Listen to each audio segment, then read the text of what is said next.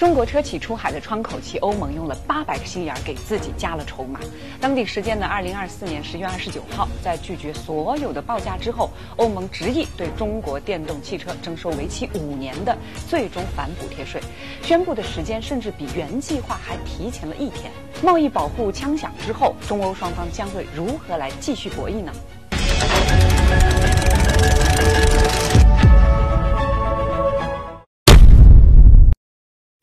我们先来看一下决议对中国产电动车的影响。欧盟对参与抽样的三家企业——比亚迪、吉利和上汽集团，加征的税率分别是百分之十七、百分之十八点八以及百分之三十五点三，而其他合作公司呢是百分之二十点七，非合作公司百分之三十五点三。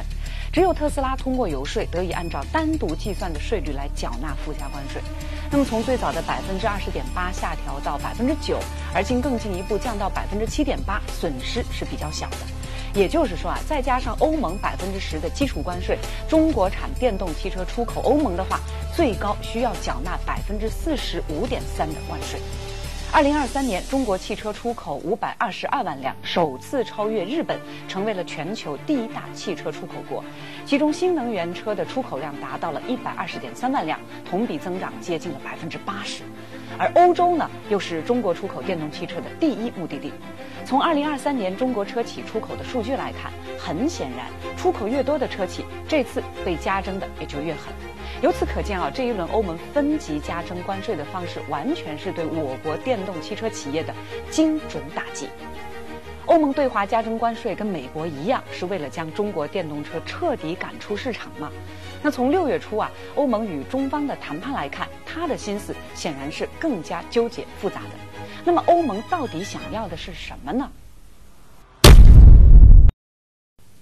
今年六月，中欧双方磋商机制建立。两个月之后呢，中方的谈判代表中国机电就正式的向欧委会提交了价格承诺谈判方案。但是欧盟却在价格承诺所涉及的技术性的细节上各种刁难。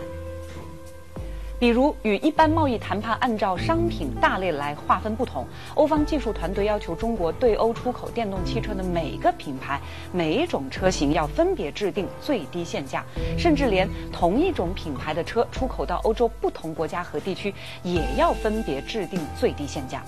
而更为恶劣的是，欧委会还越过中方谈判的合法代表中国机电产品进出口商会，来和中方企业或者是子公司搞单独约谈的阴阳谈判。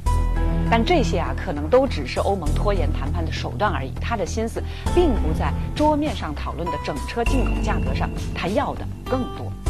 这次方案当中的额外关税，其实只针对从中国进口的电动车、汽车部件和在欧盟生产的车，并不包括在内。也就是说啊，如果中国车企或者是电池企业在欧洲建厂的话，那就可以避开这次的关税制裁。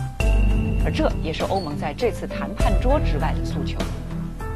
但俄乌冲突以来，欧洲高企的通胀，还有平均每小时三十二欧元，以及还在持续上涨的人力成本，再加上欧洲电动车不完善的产业链，各种不利因素叠加之下，在欧洲建厂甚至是建产业链，中国品牌的成本优势是荡然无存的。除此之外，还有一个深层原因，多家车企反映，欧盟在调查过程当中还要求中国车企要提供自主知识产权的标准以及核心技术竞争力。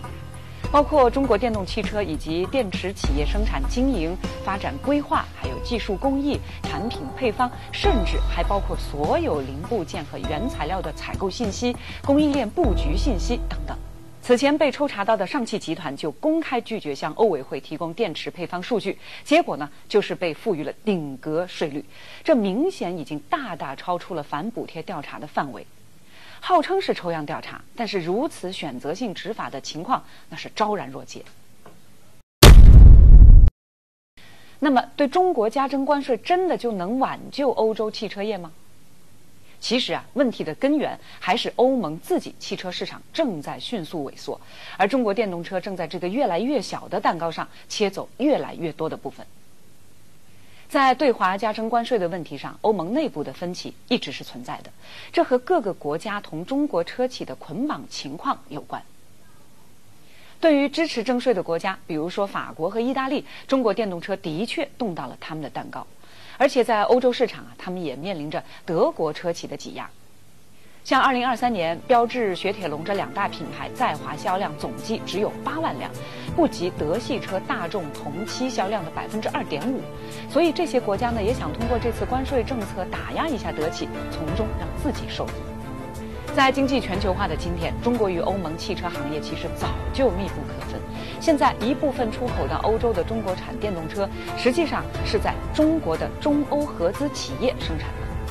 看上去欧盟的征税措施打击的是中国电动车，但实际上啊也会波及到像德国以及欧洲车企的利益。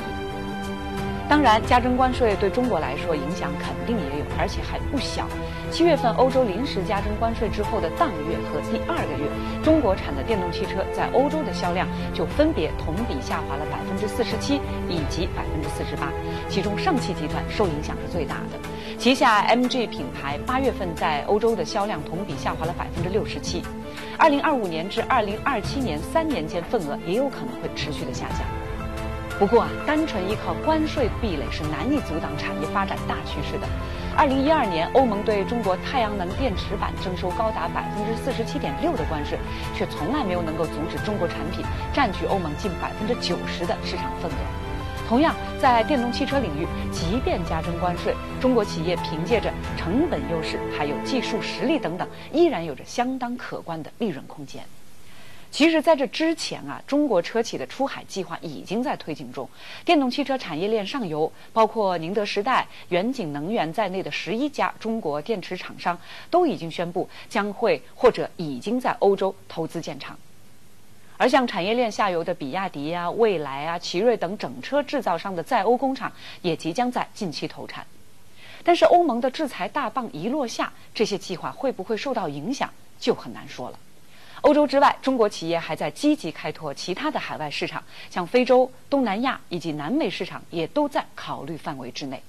我们说解决摩擦一般有两种办法，要么互相离远一点，要么就互相抱紧一点。那对于你中有我，我中有你的中欧汽车行业来说，走哪条路，本不应该有争议。